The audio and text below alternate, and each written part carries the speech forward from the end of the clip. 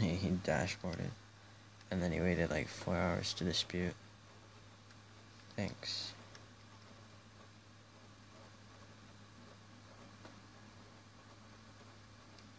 Nah, I'm making the proof right now. I'm gonna put in the ticket that he better get banned.